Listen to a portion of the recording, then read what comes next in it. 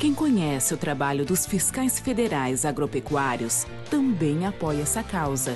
A criação da Escola de Formação e Capacitação é imprescindível para o aprimoramento das atividades desenvolvidas pelo Ministério da Agricultura.